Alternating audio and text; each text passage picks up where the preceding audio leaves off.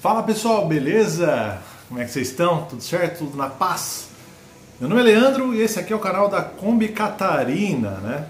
A Kombi onde nós estávamos, é isso mesmo, estávamos construindo a nossa Kombi Home e aqui eu conto porque nós estávamos e não estamos mais, né? Calma, é uma pausa temporária. E aqui eu tô pra, na verdade, esse vídeo, ele é para alertar a vocês referente a golpes de compra e vendas de carro pela internet. Nós quase caímos num golpe na venda da Kombi e na venda do Logan. Tá? É, graças a Deus, a pessoa para quem nós vendemos a, a Kombi é uma pessoa muito idônea, é o Ivan, que inclusive está continuando com esse projeto de construir. Ele e a esposa dele tinham um sonho, tem o um sonho né, de construir uma Kombi Home. Então eles compraram a combizinha, estão fazendo tudo certinho. Foi uma negociação super tranquila, super na paz. Porém, é, nós quase caímos em golpes. Tá? Tanto com a Kombi quanto com o Logan foram exatamente a mesma abordagem. E é isso que eu quero deixar de alerta para vocês, porque tem muita gente caindo em golpes. O golpe consiste no seguinte: liga um cara para você, entra um cara em contato com você, super interessado no carro, é, falando, pedindo fotos do carro, diz que está interessado, que quer comprar. Só que é o seguinte, ele fala, cara, na verdade, esse carro ele é para um funcionário meu, ou isso no caso da Kombi, a abordagem foi essa. Esse carro é para um funcionário meu, ele tem aqui um processo trabalhista, eu estou devendo uma grana para ele e ele está querendo uma Kombi, enfim. Então eu estou querendo vender é, para ele. Quanto que você está pedindo na Kombi? Na época eu estava pedindo valor, ele pediu dois mil reais abaixo desse valor. Falei, ok, vamos, para mim tá ok. E ele falou o seguinte, ó, oh, só que na verdade é o seguinte, fala pro meu funcionário, quando ele for aí, é, diz para ele que o valor que eu tô vendendo é o valor que você tá pedindo mesmo original, tá? Porque essa diferença de valor, eu quero, ele tá me devendo uma grana também, quero ver se eu consigo essa grana, tá? Mas não fala para ele de valores, só mostra o carro e se ele se interessar, ele me dá um ok por telefone e eu já transfiro o dinheiro para você na hora e você já transfere o carro para ele. Nessa daí, o que, que ele faz? Ele manda um comprovante falso para você de transferência. Tá? Muita gente acaba depois não conferindo se realmente o dinheiro caiu na conta. Então você, o cara te manda o comprovante, você vai lá no cartório, transfere o carro, leva embora e você perde esse valor. Tá? Perde esse valor e perde o carro. Esse é um dos golpes. O outro golpe que acontece é que isso eu já ouvi falar também é que às vezes a pessoa ela faz a transferência do valor para você. Eu não sei como, tá? E de repente quem já, de repente, infelizmente caiu nesse golpe, pode colocar aqui nos comentários aqui embaixo. É, mas dizem que a pessoa chega a transferir o valor para você, você vê o valor na tua conta, mas esse valor ele fica aprovisionado para cair tal dia ou fica bloqueado, enfim. Eles fazem a transferência de um jeito, até mesmo com Pix, de que depois esse valor retorna para a conta dele. Né? Você transfere o carro, depois esse valor retorna para a conta dele. Isso aí depois você já transferiu o carro para o cara, enfim, o carro já está no nome de outra pessoa.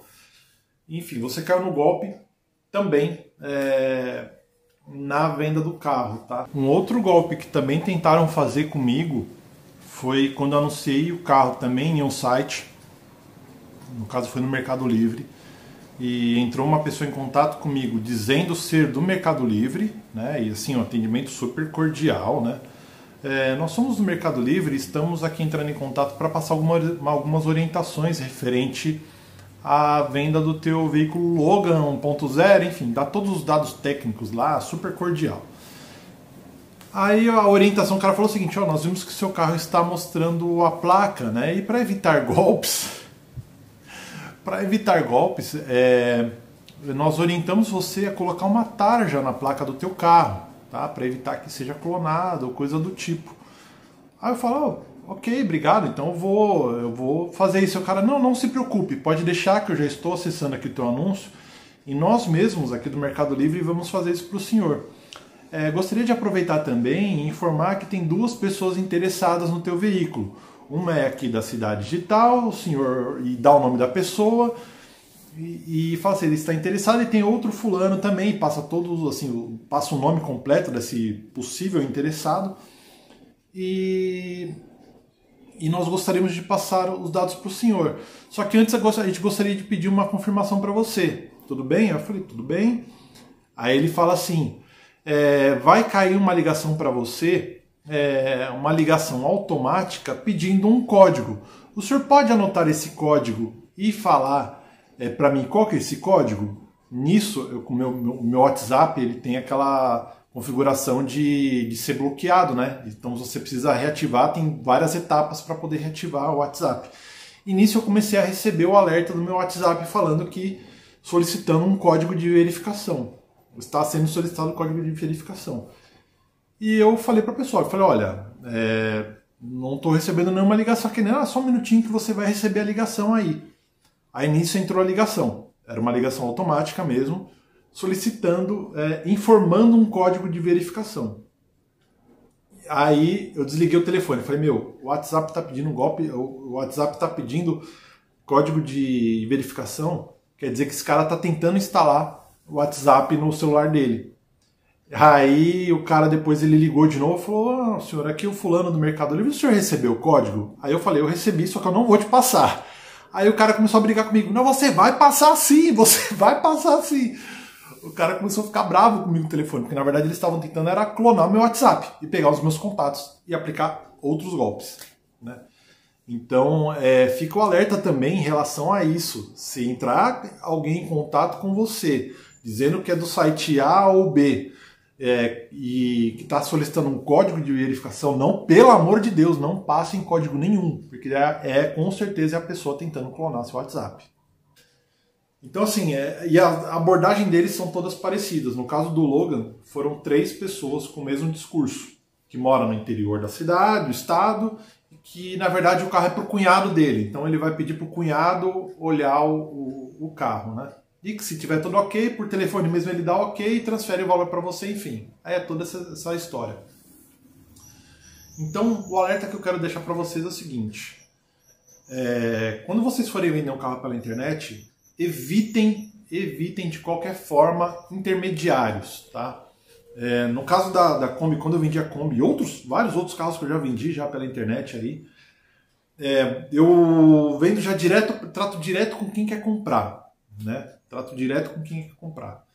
É, só vou no cartório reconhecer firma do documento, transferir para a pessoa depois que eu confirmei que efetivamente o dinheiro está na minha conta, está certinho na conta, não tem nenhum tipo de bloqueio nem nada.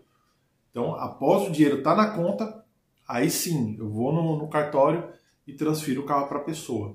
Já vou com a pessoa no cartório para poder fazer todo, todo o trâmite, tá?